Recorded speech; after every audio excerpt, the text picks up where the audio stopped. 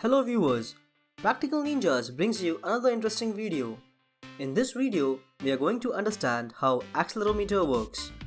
We all have heard about accelerometer, gyroscope and magnetometers built into our smartphones.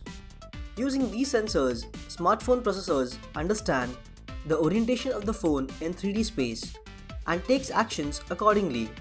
Let's take some of our time to understand how these actually work. First, let's start by understanding the basic physics of acceleration measurement using a spring and mass system. As seen in the diagram, a body of mass m is attached to a wall by a spring having spring coefficient k. When force F is applied to a mass m, it is displaced in the direction of the force by amount x with acceleration a. Using Newton's law, and writing the force conserving equation, we get F equals ma which equals Fs. This Fs is nothing but the force due to the spring tension. The force due to spring tension is written as kx, where x is the displacement of the body from initial rest position. Equating the forces, we get ma equals kx. Thus, we see that acceleration is a function of displacement that is a equals f of x. If we are somehow able to measure displacement, we can calculate the acceleration on the body. There are different methods to measure the displacement x. These methods use resistive techniques, capacitive techniques or inductive techniques.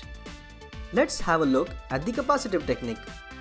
We know from basic physics that C equals epsilon A by D where d is the displacement or the distance between the two plates forming the capacitance. By varying this distance d between the plates, we can change the capacitance C.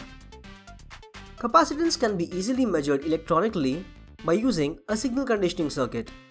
So, to achieve this capacitance change, let's look at the modified spring mass diagram. Here, we can see two plates of capacitor. One is the movable plate attached to the mass m and the other is fixed at the initial position. When body accelerates due to force F, it causes change in the displacement, which is dependent on the acceleration A of the body. Due to X, the capacitance C across the fixed and movable plates change. By measuring this C, we can calculate the value of X, which helps us to infer the value of acceleration. This is the principle of measuring the acceleration. However, one cannot employ such a huge and big spring mass system inside an accelerometer IC. This is where MEMS come into play.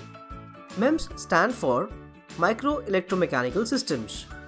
These systems contain both mechanical and electronic components, but they are fabricated at the scale of a micrometer. These MEMS are employed inside accelerometer IC, which helps keep its size small. Looking at the diagram, we can see a series of fixed plates on the outer assembly.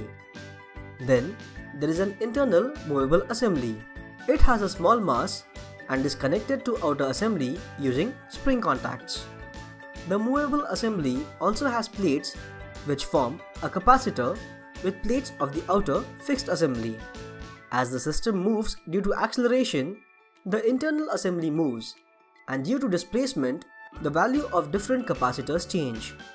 By measuring these changes in capacitance, we can infer the acceleration acting on the body.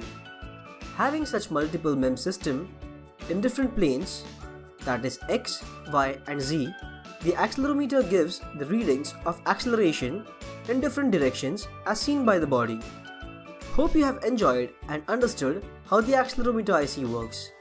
That's it for the current video.